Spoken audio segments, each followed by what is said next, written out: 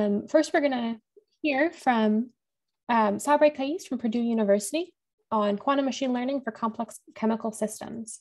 Sabre, whenever you're ready, feel free. Yeah, yeah. Can you see my slides? We can. Yeah, thank you so much, Katie. And I would like to start by thanking David and Christian for this wonderful workshop. And thank you all for tuning to this talk. So I, am going to focus on quantum machine learning for uh, complex chemical systems. And before doing that, I'd like just to give uh, motivation. I mean, why, why quantum machine learning? In, in our research, we are focusing on quantum information and quantum computing for complex systems. And when we talk about quantum information and quantum computing, really we're trying to take advantage of the superposition, coherence, and entanglement in designing quantum algorithms to be run on a quantum computer. So now I will focus on electronic structure, but we also interested in quantum dynamics. And since we are in a field that everything interacts with the environment, we also have to worry about open dynamics on a quantum computer. So what, what is the main issue here? And I'm focusing here on, on the wave function for this complex many-body system. So the wave function contains all information about the system, as we heard for the last two days. Uh, with exponential complexity as the system size increases. When increase the size of the system, I mean, all of us are familiar with this problem. You have exponential scaling with the difficulty of treating this problem. So what, what, what is the challenge? The challenge is how to describe the non-trivial correlation encoded in the exponential complexity of this many-body wave function. But at the same time, it's really, uh, when you look at this and, and, the physical system, it's hard to believe that this physical system really explored the whole Hilbert space. So somehow there is a subspace in this Hilbert space that describe the most important information about the system. And here I summarize it. The wave function representing many-body physical systems can be characterized by an amount of information much smaller than the maximum capacity of the corresponding Hilbert space. And the question is, how do we go about discovering this subspace in the full Hilbert space that's so important to get the accurate description of the system. And we thought maybe with the quantum machine learning, we can really have an approach for discovering what this is the subspace. Because if you look at machine learning, they start with large data space and they try to compress it in a way that you can handle it with different uh, models. So now just to clarify, when I said quantum machine learning, what do I mean by that? We are going to combine classical machine learning with quantum algorithms. So sometimes also people running classical algorithm for quantum system and they call it quantum machine learning. So here we really means that we have to quantize the classical machine learning model and by quantum algorithms and then run it on a quantum computer. Did we achieve this one? Did we solve the problem? No.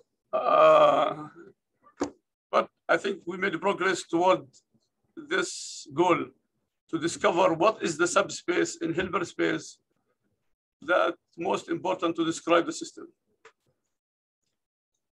So the outline, I, sorry, I will start with a, like a just brief overview of electronic structure calculation as like a focus in my group before we start doing quantum machine learning. And then we'll focus on the restricted Boltzmann machine as a model for this quantum machine learning algorithm. And then we'll show some results for simple system, like these simple system that we use it in many applications, like quantum computer, like H2, lithium hydride.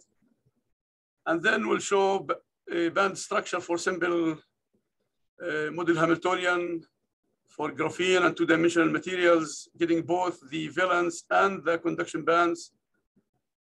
And then I will show how this approach is really powerful. We can also treat quantum phase transition on a quantum computer. And then talk about future work, how quantum machine learning can be integrated in open quantum dynamics. So now when we talk about electronic structure on a quantum computer, there is a three different categories or three maybe approaches. The one approach, which was the early approach for this problem was using the gate model. And the gate model, we have calculation on using the phase estimation algorithm. And then many, many algorithms were devised to do electronic structure like direct methods. And recently we start seeing the hybrid, the classical and the quantum algorithms. But the, but the whole idea is that once you construct this unitary matrix, you decompose it into gates and you run it on a quantum computer. And I will show you it's not, we can do it both in qubit space and qudit space where we have d-dimensional space. The other model is the adiabatic. You start with the Hamiltonian or the system that you know the answer or you know how to put it in a quantum computer. And then you deform the system slowly enough not to jump to the excited states. So you stay by the adiabatic theorem in the ground state, but you do it in a way that at the end of the process, you encode the solution of the new problem that you are interested in. And the third approach is the quantum machine learning that I will focus on today.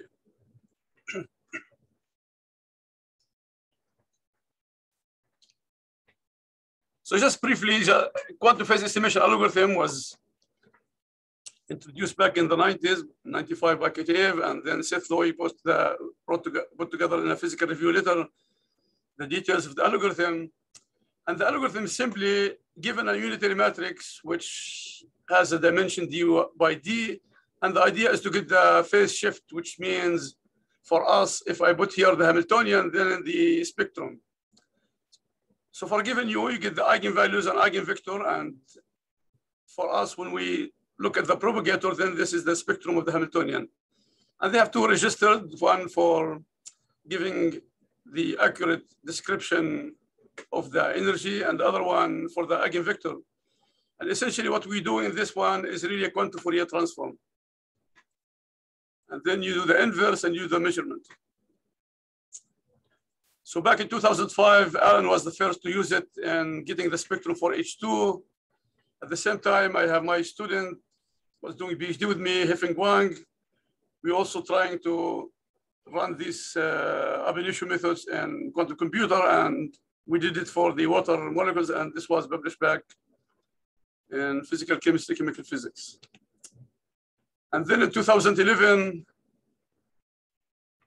I mean, we did not call it hybrid, but this is what we did. We parameterized the quantum circuit with uh, where the rotational angles of the quantum gates can be obtained now we are using it to, uh, we obtain by minimizing the energy in the variation, in the quantum uh, variational process. But at that time, we tried to get it by uh, minimizing the distance between your unitary matrix and the exact one. So with a different process, but at the end, we optimize the, the quantum, the angles in the quantum gas in order to uh, get the spectrum of the Hamiltonian. So this is not our discussion, just like I briefly, that people are using quantum phase estimation. This is, was really the main algorithm. And we have so far theoretical and experimental results from two to 12 qubits implemented in all the platforms, starting from D-Wave, NMR, optical, trapped ion, superconductor qubits. And the main issue with the with these algorithms, I mean, it's an exact, it's like doing CI, but the number of gates necessary to do the calculation within the coherence of the machine is really large. So this is why we see results only for small system with the phase estimation. Then people start saying, okay, what is next? I mean, I have NISQ machine, 50 to 100 qubits. What can we do now until we discover the quantum error correction codes and do fault tolerant quantum computing? So as I mentioned, there are a couple of directions, the hybrid, classically quantum or adiabatic quantum compute uh, algorithms, quantum machine learning, which is the, the focus of my talk, or do calculation in the qudit space, or program a quantum simulator, where you map the system and to, for example, many physical systems that can be like in the in the ion trap or in the optical lattices and do the simulations. Just briefly also, we generalized the quantum phase estimation algorithm to the qubit space instead of qubit. And in collaboration with the experimental group, the quantum optics group here at Purdue and the, the ECE, Andrew Weiner, they were able to show that this is really can be done. And we got experimental results. And for those who feel interested, we put together an, uh, a review article, qudits and high dimensional quantum computing, which talks about how to generalize the phase estimation algorithm to qudit space and what can we do in the qudit space. So let's get back. And yes, one more thing I would like to mention before quantum machine learning. We thought this is really a transformation between the Schrodinger equation and Ising, where the two fields looks like separate when we teach statistical mechanics, we use the Ising, we teach quantum mechanics, we use different models. But we, like when you map your system to the qubit space, and there is this transformation, and the details of the transformation, uh, we put it back in Journal Physical, Physical Chemistry B, show how one can connect the Schrodinger equation to the, uh, the Ising type Hamiltonian by increasing the dimensionality of the physical space. Although the transformation is not efficient and it's not polynomial, but this is was exciting for us to connect the structure or the phase transition in Ising type Hamiltonian with one we say symmetry breaking or, or critical phenomena in electronic structure calculations. And maybe over 10 years ago, we argue that quantum processes like ionization when the electron leaves the atom or the system dissociate, there is a beautiful critical phenomena behind this process. And we discuss it, and maybe I'll come back to this at the end to connect it with quantum phase transitions if we have time. So quantum machine learning, I mean, first classical machine learning, I mean, it's every, everywhere, successful in so many fields. You look around, you have solar farm optimization, drug discovery, grid, st grid stability finance, self-driving cars, and so on. So the field, if you look at classical machine learning, is a great success by compressing the data. And this is why we thought maybe do this uh, trick of going to the quantized version and see if we can discover the space where the wave function or the configurations that uh, needed to describe the complexity of the wave function can be done by machine learning.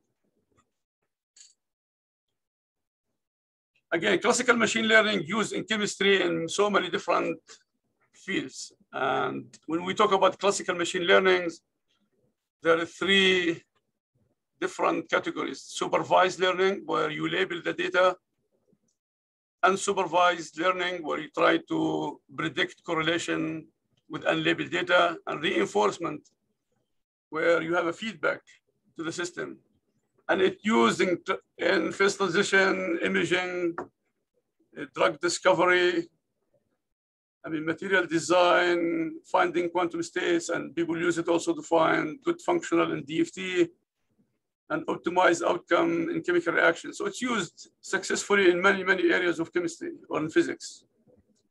So this is classical machine learning. So I'm going to combine it with the quantum algorithms and talk about quantum machine learning. And again, the goal is to quantize the classical machine learning algorithms and run it on a quantum computer. So our inspiring work in this direction was the really this excellent paper by Troyer and uh, Carleo in physics back in 2017 where they talked about using the restricted Boltzmann machine, and I will explain the details of this, to get the wave function, and they show how one can get it for the Ising Hamiltonian and the Heisenberg Hamiltonian in one and two dimension. So what we did, we generalize it, because here the wave function is, they look at the amplitude. So the wave function was here is, uh, they didn't focus on the phase. So we generalize it by adding the phase to the wave function and implement it by quantum circuit on a quantum computer. So I thought this is really a beautiful, beautiful way to combine three successful subfields that we teach and uh, we have here at Purdue, maybe I will mention this class before I start. We have, a, we have a beautiful lectures by Supriyo Datta on the fundamentals of the three fields. And this is recorded in the NanoHub. He called it the physics to computes. So we have Boltzmann as a model. And I, I, maybe here one point, because in machine learning, the, the really the big thing is to, I mean, to decide what is the model that you'd like to use to train your data. And for me, I mean, really we have to rely on physical model, what we know the physics, because at the end, it's not enough to get numerical numbers. We have to understand what the machine is doing. So relying on a model from physics or statistical physics is extremely important for our progress in this direction. And again, we have the neural network and the success in so many areas and, uh, and all of us are really witnessing the success of the neural network and classical machine learning. And again, we are interested in applying at the end our approach in a quantum computer as a new field so we are really combining those three fields, statistical physics, neural network, and quantum computing to discover what is the subspace in Hilbert space that's so important for us to consider. And when you go back to the restricted Boltzmann machine, before I go through the details, it looks like it goes back to, in classical, I'm talking about classical restricted Boltzmann machines, it goes back to the 87, and I think there's one article in 2006 by Hinton. And before that, I think the first one to use it was Paul Smolensky, and he's a computer scientist at Johns Hopkins. Okay, so what is the objective of this uh, quantum machine learning for us now? I mean, when you look at problem in quantum chemistry, I mean, we are lucky, we know the Hamiltonian. The Hamiltonian is given, so you introduce a basis set. And what you have, you have a Hamiltonian matrix in the complex plane and with dimension d, so d by d. And all we have to struggle with is finding the eigenvalues and eigenvectors. And we have this problem with us for like 100 years now. so what is the our approach? I mean, first we'd like to construct a neural network to learn the required state for this system, construct a quantum circuit to train the network, and then implemented on a quantum computer. So my talk uh, uh, based on three recent papers that we published. The first one was in Nature Communication about uh, Boltzmann machine for simple molecular system, and then we extended to the valence band of 2D materials. And we have on the arXiv one getting not only the valence band, but both valence and conduction band. So we get also excited states. So if you would like to the details, I think you can go back and check the details of the these public three publications. And here are the students that really the hero or the one who did the work. I will mention later that like the specific contribution of each one.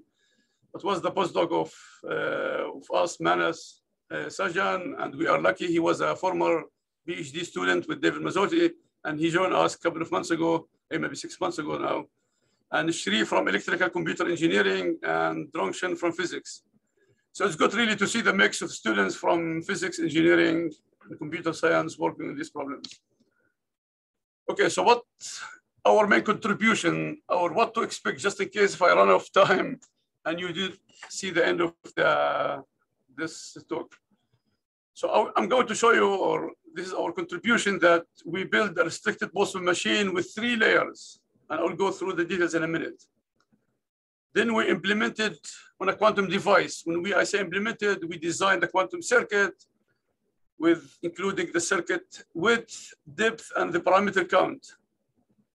And we show that this is a quadratic, where if you go the classical way of sampling, it's exponential. So this is what the advantage, maybe I will say it now, the advantage of our quantum uh, design is the quadratic resources used to sample the Gibbs distribution, where classically it's exponential. And here we can say, okay, you have to do a lot of measurement because this is a you getting the probability of getting the, the system in a certain state. So what is about the successful sampling? And we show that there is a lower bound for this one. We are not done yet, but at least we show there is an upper bound for successful sampling. And we implemented in 2D materials in addition to simple molecular systems. And when I say implemented, both in the quantum simulator and on the real IBM machine. So this is the thing to expect from this lecture.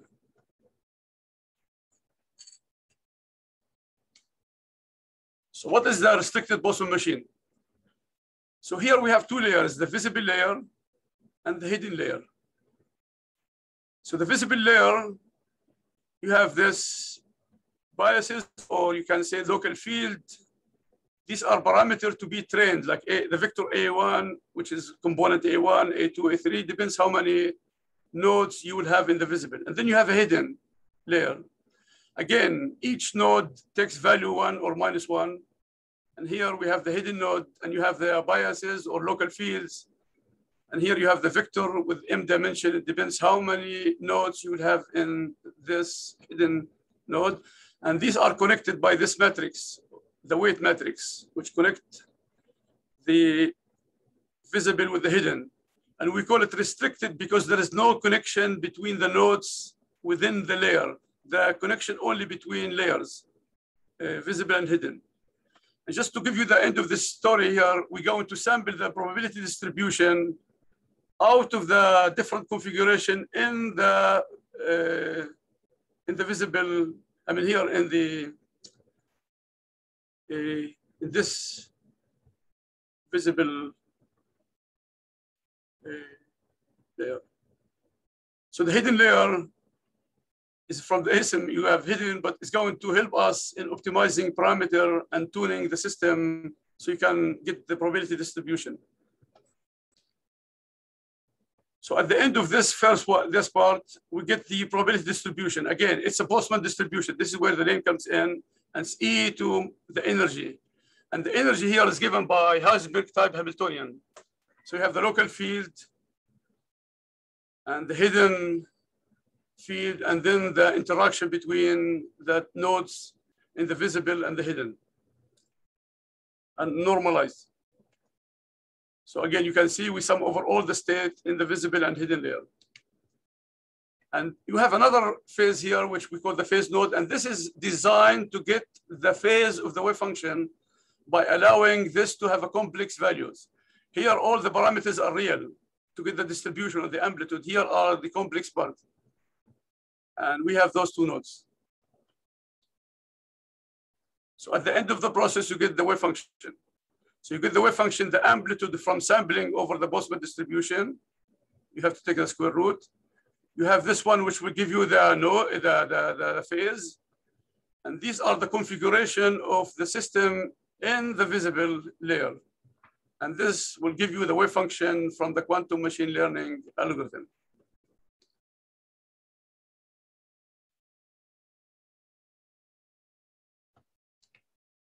So briefly, the algorithms, you start with initializing all the parameters. Here, the parameters is the local field on the visible, the hidden, the connection matrix, the connectivity between the phase and the visible, all these parameters, you start at random, you run the calculations in like in any algorithm.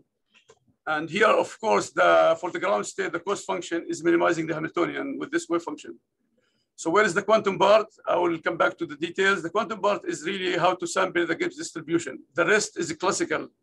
So this is where the hybrid comes in. So the quantum part is only sampling the Gibbs distribution and the rest done on a classical computer. And you combine the results in a hybrid algorithm. So more, uh, maybe just like to repeat for notation. Anyway, I explained the, because here we have to map into a qubit. So in the, you have n visible neuron, we have it to n visible qubit, and in the hidden, because now you have to map each a node into the qubit space. So let me describe the quantum uh, part of this algorithm because this is extremely important. So first we have the, let's take an example. In the visible node, we have two qubits. In the hidden, we have two. And then we add ancilla qubit, and you will see why we need to the ancilla qubit. So first of all, you rotate your qubits, and this is the matrix for rotation. But remember, uh, look at this one. The, the parameters here is the local field. So you tune the rotation by, by putting the field again. I mean, you start with random and then you have to iterate. So the rotation depends on the local field.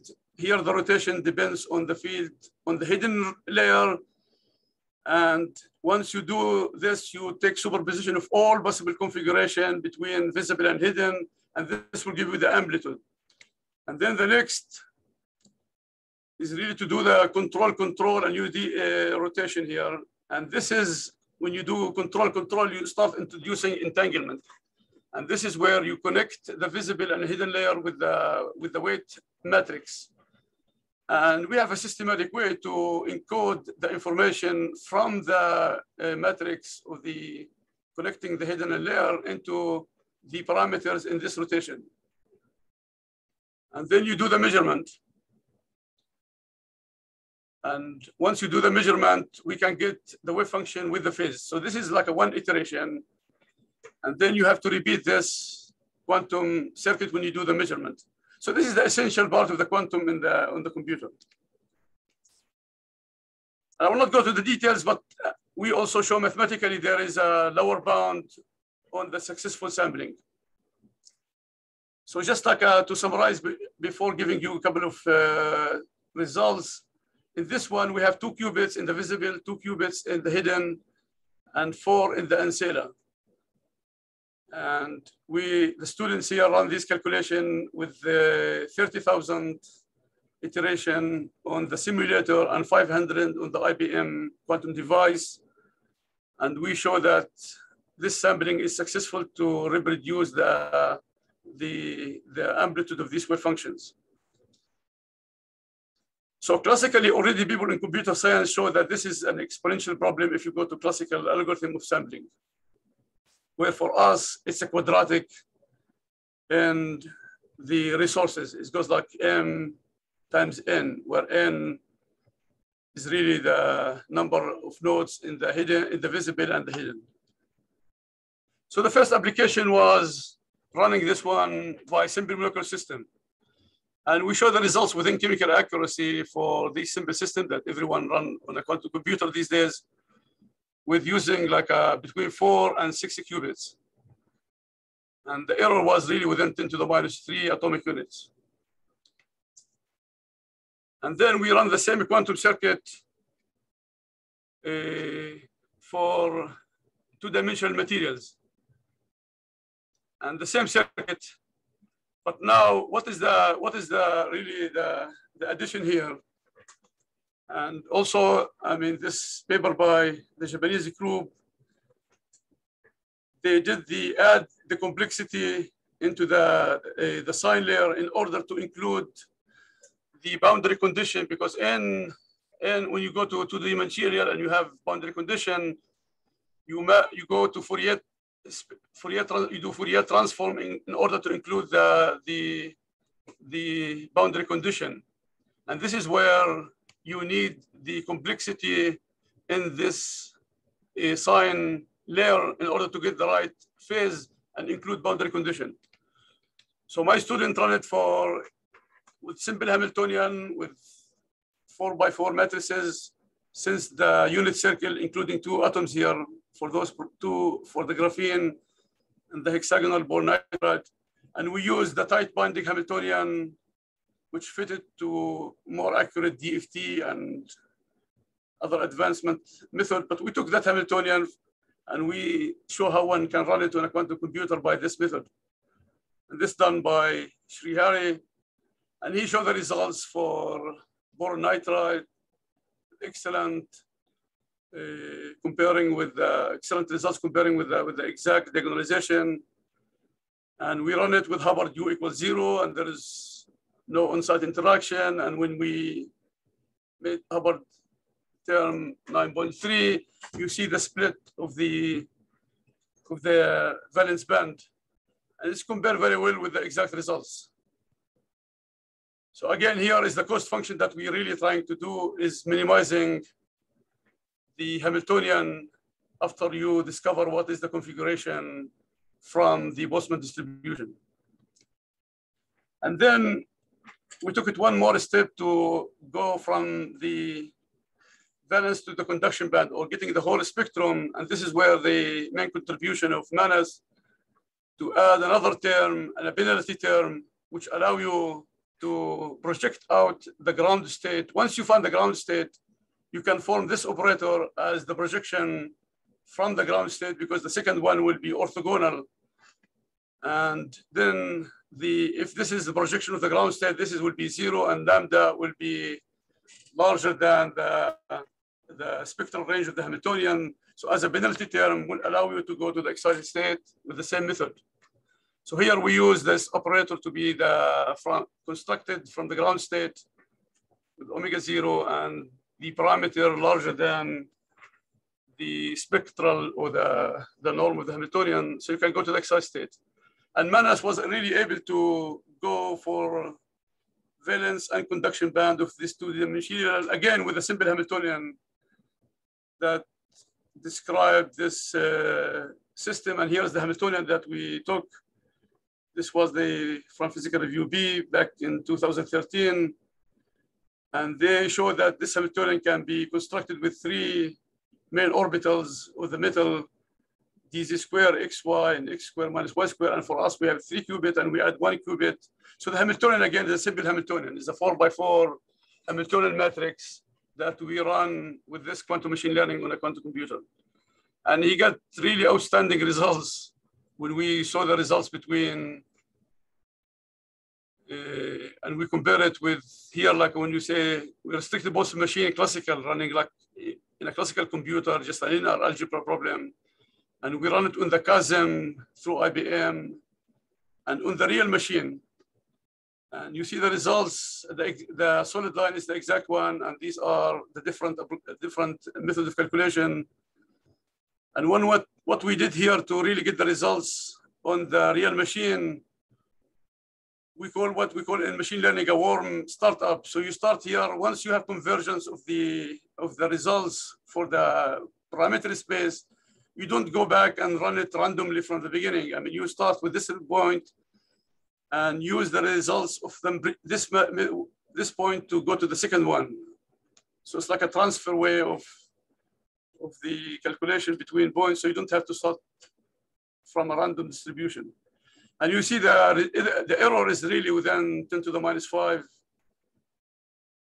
uh, for both the valence and the conduction band and the infidelity, which means you compare the wave function with the exact one. It's really an excellent, uh, excellent comparing with the exact one. And he did it for this, again, for this material.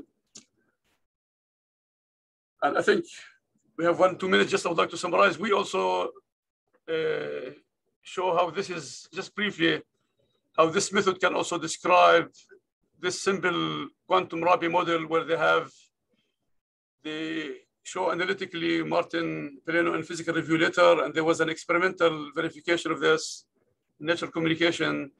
Although this is a finite system, there is a quantum phase transition, and we were able to, to capture it by quantum machine learning. So let me summarize. What is the conclusion out of uh, this?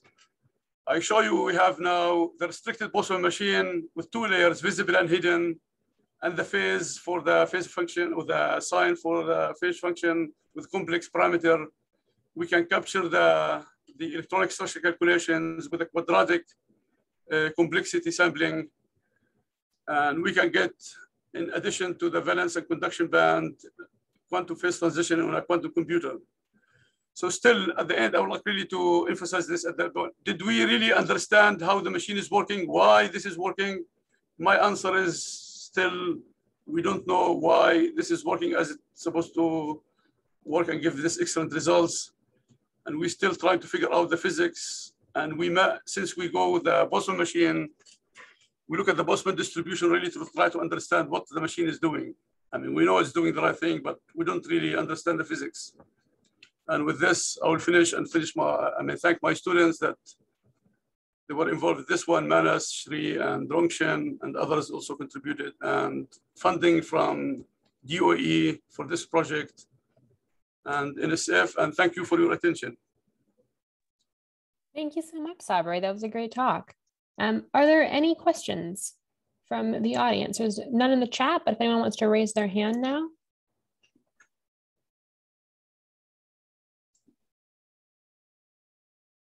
I have a quick question for you, Sabre, while, while everyone else kind of thinks about it if they need to. Um, for Manas's work, for the, the restricted Boltzmann machine, did mm-hmm. you use any form of error mitigation on that data or was that just?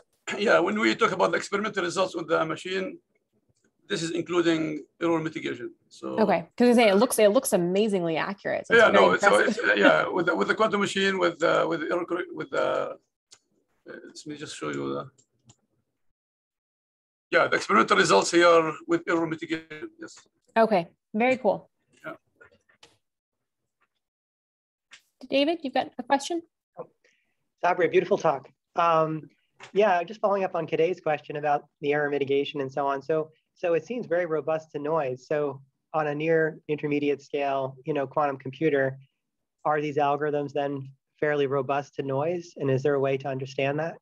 Yeah, I think the way we analyze the noise, if I don't include the error mitigation, the results are all over the space. Okay. yeah, no, no, it's like the results are scattered. I mean, I have one to show the scatter, but I could not find it this morning. The results are not really good. I mean, scattered. And then you do error mitigation, and it's not enough. You really have to start. I mean, suppose you capture one at the K point that the results were good for, on the machine. Then you use it to propagate to the second one. If we don't do this, also we don't get good results on the machine. So somehow, if you start with that, where you know the answer is really very accurate, you start from there and then you move to the second uh, in the K points. Otherwise, the results on the machine are not really, so I, I will not say really, really robust algorithm, so you have to do a few tricks. Uh -huh. But since we know, I mean, I mean, we, I mean, we can start with the point that we know the answer, that the, the, the system is really giving us good results and go from there instead of random. Right, right. Because once sure. you start random, you then you scatter the results. And that makes sense too. Obviously, one wants to build the physics, as you said from the beginning, into the distribution and also into the guests. But yeah, I mean, the data is uh, is fantastic. You know, for for the quantum computer, it's uh, very accurate. It's great. Are there any other last questions before we switch speakers?